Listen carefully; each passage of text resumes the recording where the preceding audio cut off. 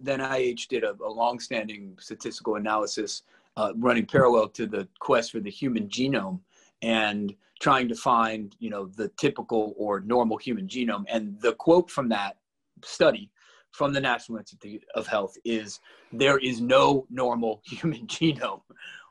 What is typical is for all of us to be different. I like that.